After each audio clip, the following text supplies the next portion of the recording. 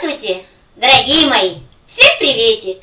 Сегодня я хочу раскрыть еще один секретик. Вы знаете, моя мама всегда все продукты запасала впрок. И меня так она приучила. Я тоже всегда запасалась продуктами. Мука, там, крупы. Ну, и сейчас в наше время очень много, вот нельзя брать продуктов, потому что в муке, допустим, заводятся червячки. Со мной произошло то же самое.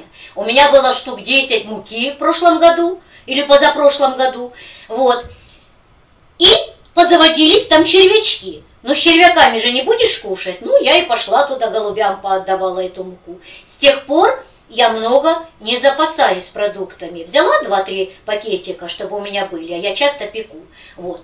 Так вот, дорогие мои, я хочу посоветовать вам один рецептик, советик, который помогает, чтобы в муке не заводились червячки.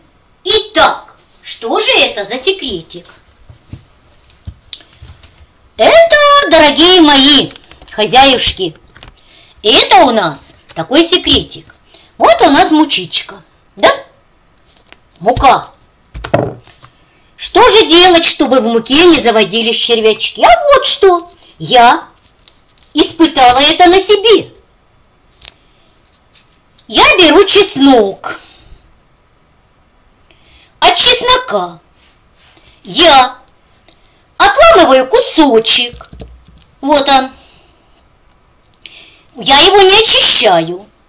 А вот прямо готовый, с этой шкурочкой, с кожицей, я беру, открываю мучичку и бросаю туда чесночок. Только, конечно, чтобы он был чистенький. Вы первый слой снимете, а остальной там остается. Ничего не надрезаете, ничего. И бросаете сюда. Я бросаю 2-3 штучки. Это у меня большой. А то есть маленькие. Вот из одной там 2-3 штучки берете и бросаете. Закрываете мучичку. Вот чем-то. Вот я закрываю, у меня вот такая штучка есть. Закрыла. И ставлю. И знаете, это проверила я на себе червяки не будут заводиться, и у вас мучичка будет всегда свеженькая. Так что, дорогие мои, воспользуйтесь моим советом.